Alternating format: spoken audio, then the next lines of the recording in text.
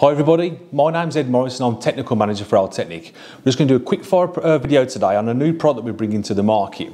Now, we listen to installers and we listen to plumbers and, and, the problems that they come against in systems and one of the things that we will sort of get feedback on is that we never really know what the system pressure is. Yes, it's always on the board or if you've got your robo kit installed, but there's never other places in the system where you can read what your true system pressure is.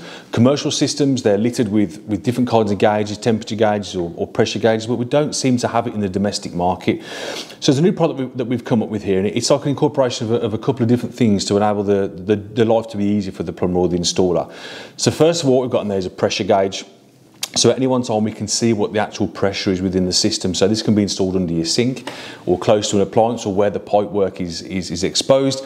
And you can see what your running system pressure is. So if you've got a leak, you can see that the system pressure is dropping, which is just an easy indicator uh, to show what the system pressure is and what the system's doing at any one time. But what we've also added to that as well is a shock arrestor. Now, there's quite a lot of the way new systems are built now and the way properties are built. We seem to get quite a lot of, uh, of reports of issues with water hammer. That can become from from noises like a, a, loud banging noise, or you sort of get vibration noise or reverberation noises through the system. So to eliminate that, we install what we call a shock arrestor. Now, we put the two together because these shock arresters must be set to whatever your system pressure is.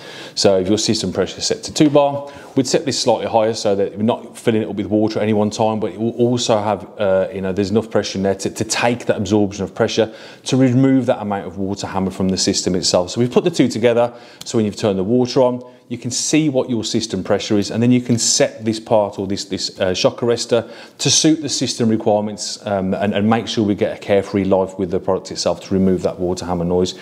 Comes in 15 mil compression again can be installed anywhere. Ideally under a sink or, or, quite local to where you will experience your water hammer whether that be on a, on a washing machine or somewhere like that. Someone's got a fast shut off valve.